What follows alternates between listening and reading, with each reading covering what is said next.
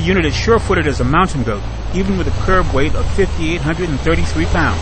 What gives it an advantage is the Land Rover air suspension system, which can raise the chassis off the ground.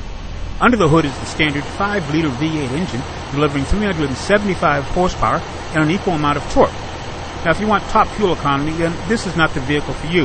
But if performance is important, the LR4 can go from 0 to 60 in 7.5 seconds. It's mated to a 6-speed 4-wheel drive automatic gearbox with three settings to handle whatever mood the driver is in at the moment. But this is more than a tough truck with seats.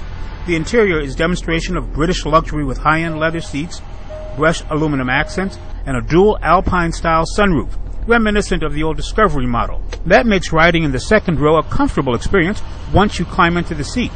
As for the third row, let's just leave that space for shorter passengers, since the floor is raised to make room for the rear axle configuration.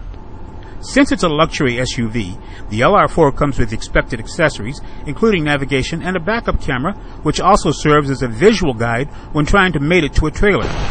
As for the driving experience, we were never even worried while playing in the quarry. Too bad there wasn't a tow truck there that might have needed our help. This is Greg Morris.